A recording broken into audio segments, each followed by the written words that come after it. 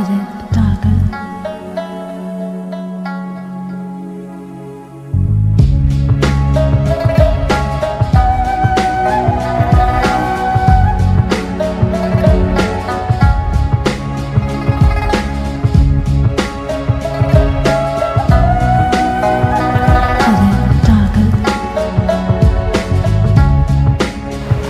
Ja Magdalena.